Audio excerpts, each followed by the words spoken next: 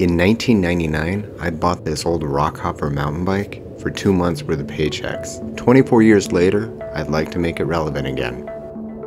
In today's video, we're going to do just that. We're going to turn this old 90s mountain bike into a modern gravel bike. So what is a gravel bike? For me, it's a road bike that'll take me all those places I want to go. With that in mind, here are the ingredients you need for a modern gravel bike.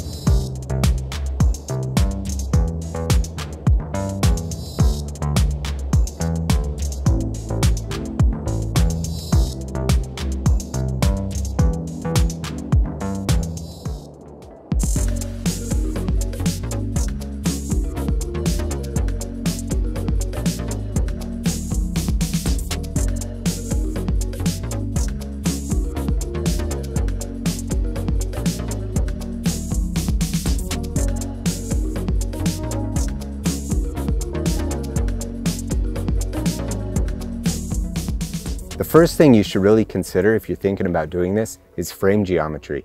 Mountain bikes are longer than their road bike counterparts. The frame I'm using is an 18 inch, so it measures 18 inches on the seat tube. That same frame has a 22 inch top tube, so when put together with drop bars, that frame is gonna fit like a 56 in a road bike.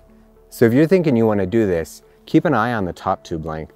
If you get that wrong, the bike will be stretched out and you won't be comfortable. I've found that the smaller frames tend to have shorter top tubes. So if you're like I am, 5 foot 11, you might choose a medium frame.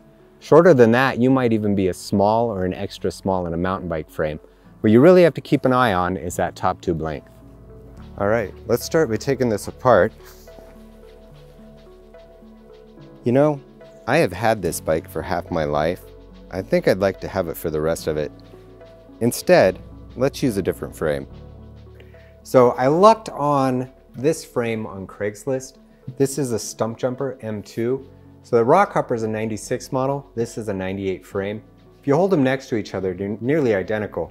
What attracted me to this frame, I really like this style of frame. I always thought they looked nice. I like the paint on it. The only downside is that it doesn't have any way to attach a disc brake. So the first thing I want to do, I want to make a mount for a disc brake caliper and I want to braze it to this frame. I drew up several iterations in SOLIDWORKS and printed them out. This is the one that fit the best. I'm going to use an ISO mount. That way I can install a post mount or a flat mount just using appropriate adapters. This measures 9.4 millimeters thick and it needs to measure 7.3. So I'm going to take 2 millimeters roughly off of this surface. I'm using an end mill and this, this is a quarter inch end mill. It's because that's what fits in my drill press.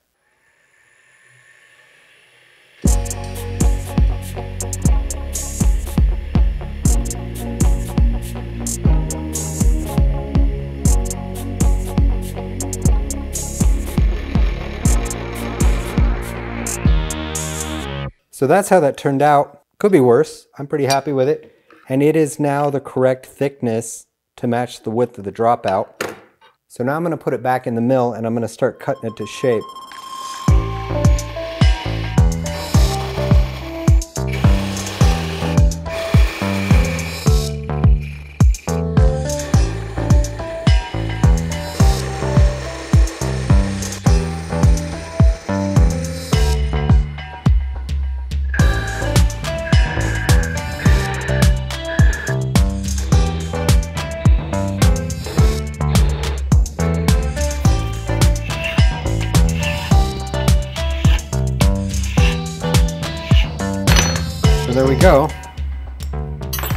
Are drilled. Matches the 3D printed version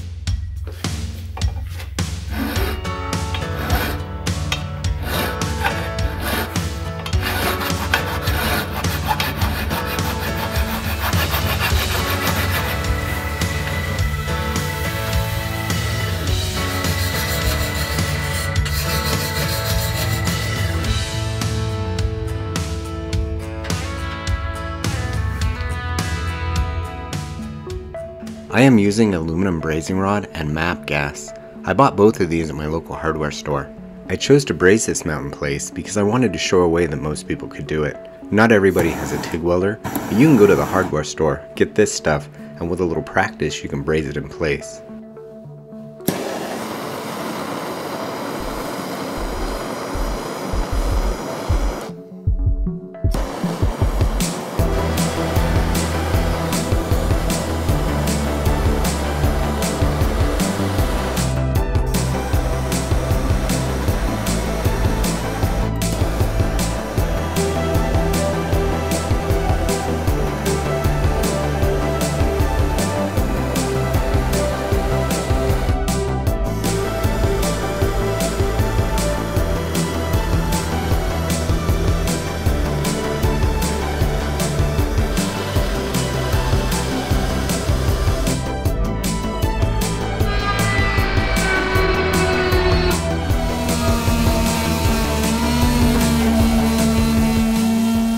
The strength of this joint depends on how much contact it has between the frame and the mount. You want as much brazing material on as you can get.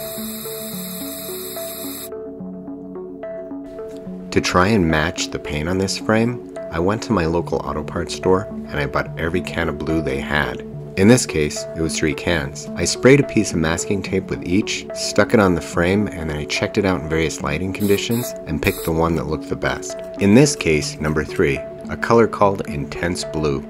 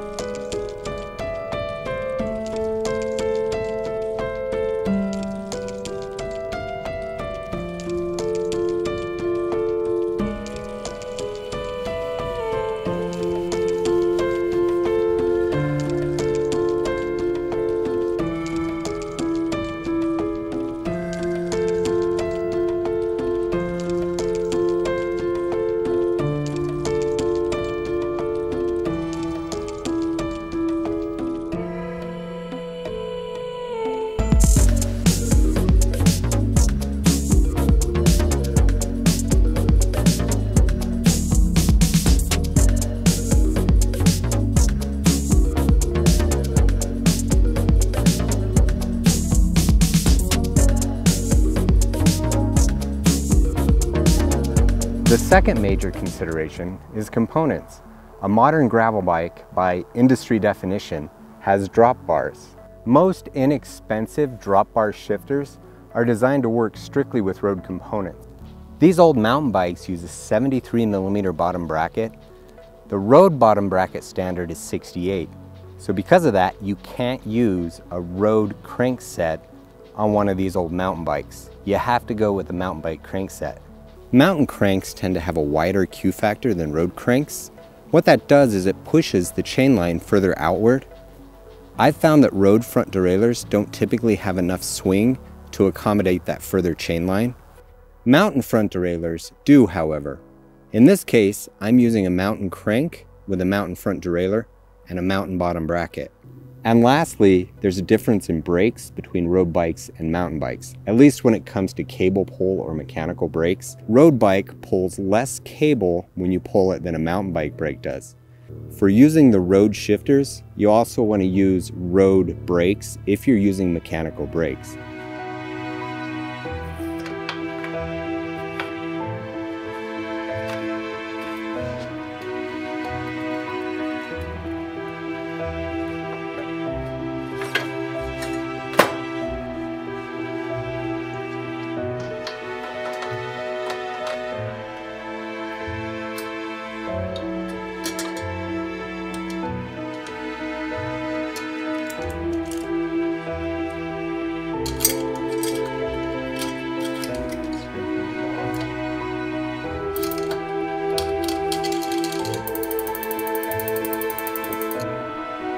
Third consideration when doing this is fitting larger wheels. These old mountain bikes came with 26 inch wheels. Fitting larger wheels is doable, but there's a couple things you need to know. On the front, since we're replacing the brakes anyway, you can install a 700C fork. The only consideration here is that these head tubes will not support a tapered headset, so you'll have to find a fork with a straight steerer. Fitting the rear wheel is just a little bit more difficult. I've found that these old mountain bikes that had 26 inch wheels, you can fit 700C wheels with a tire up to about 32 millimeters in width. Any wider than that and you'll have to cut out the seat stay bridge.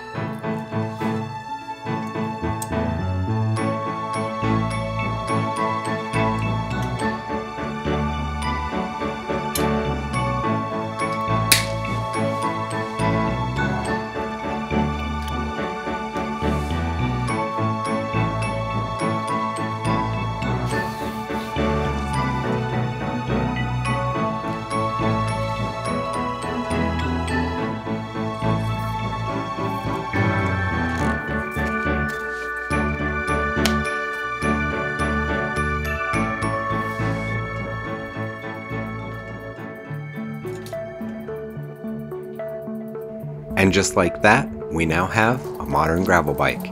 Let's take a look at what we built and then we'll see how it rides.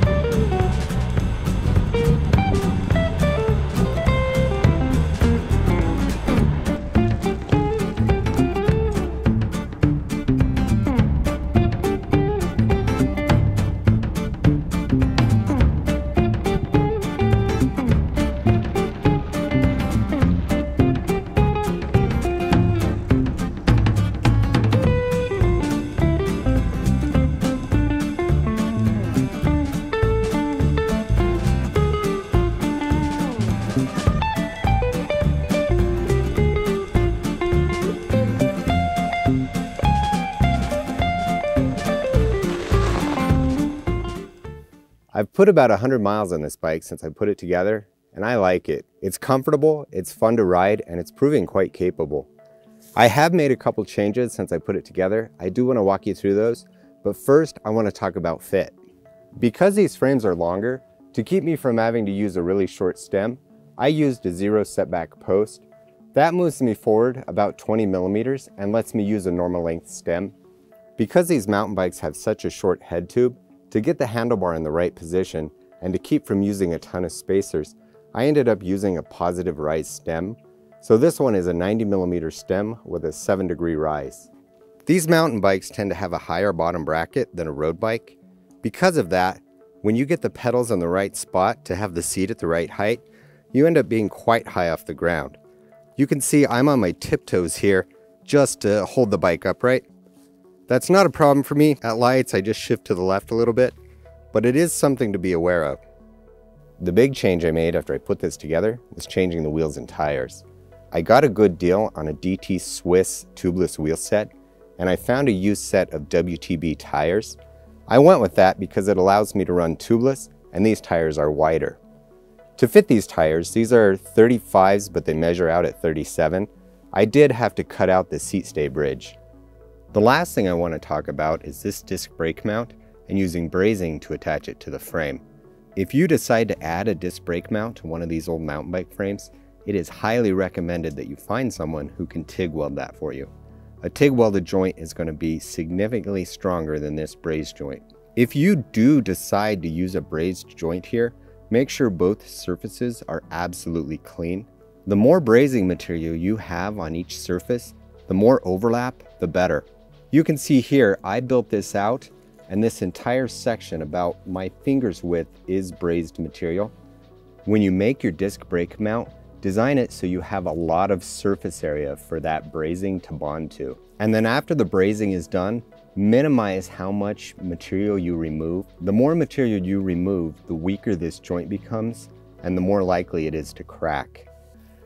I spent about $730 on this build that was for a from scratch build, so that included buying the frame and everything from there.